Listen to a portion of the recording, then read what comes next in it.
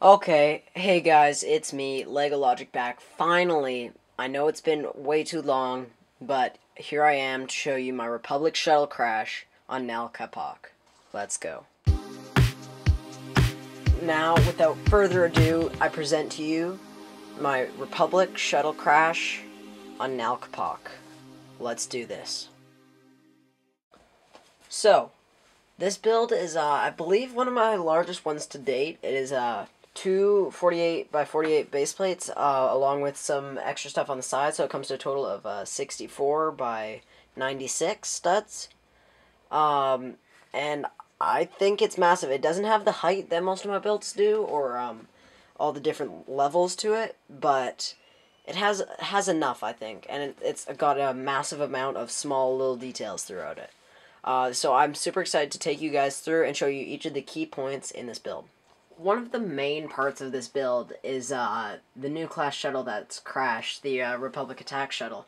And um, here, uh, this one is my own personal design. I have the LDD uh, instructions, and if any of you are interested in purchasing those for me, I'll have my email down in the bio and we can work something out. Um, besides that, uh, I've modified it a little bit, not much, uh, just to give it some of the crash features. Um, but it's totally rearranged the terrain around it. Um, and I'll uh, show you guys that in detail right now. Here you can see the uh, two separatist attack groups moving in towards uh, the survivors. Um, and then along with uh, some uh, the burnt up foliage uh, caused by the crash, some debris, along with multiple different layers of the dirt in the ground. We've got half this wing here buried. Um, that was a bit of work trying to get in, and I'm pretty sure there's at least 10 little stud-like pieces stuck in that hole. Here you can see a bit of a bottleneck created um, between the terrain here and the crash shuttle.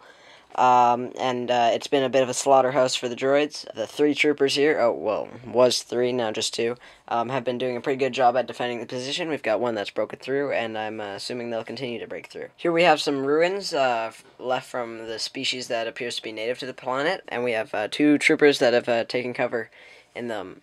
Um, it's also apparently acting as a rally point uh, with uh, other soldiers uh, rushing back there to get to cover as fast as possible. One of the favorite parts of the build for me, um, this explosion uh, from where the uh, AAT, um, I do believe that's what it's called, uh, has hit the side of the Republic attack shuttle, sending one of the clone troopers flying.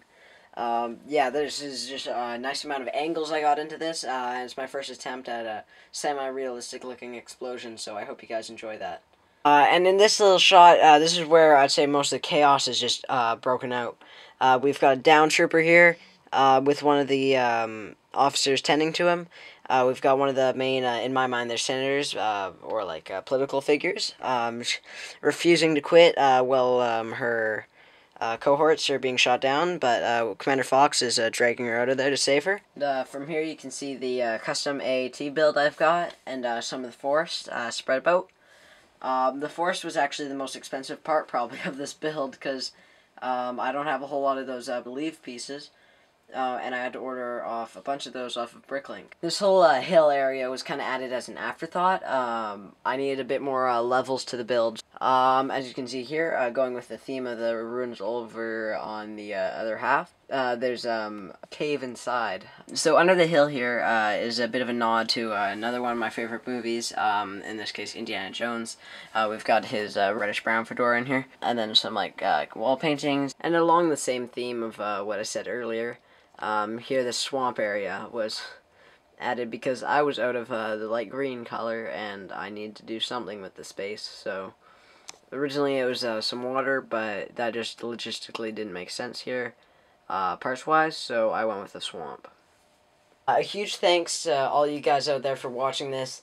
Um, it's my pleasure bringing to you uh, semi-quality content um, and on an irregular schedule. But uh, I'll have a few more posts coming up after this one. I've got uh, smaller builds uh, to share, and I also got an awesome light box that I'll shoot those videos in.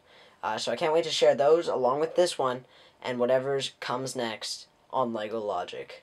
Thanks for watching, and have a great day.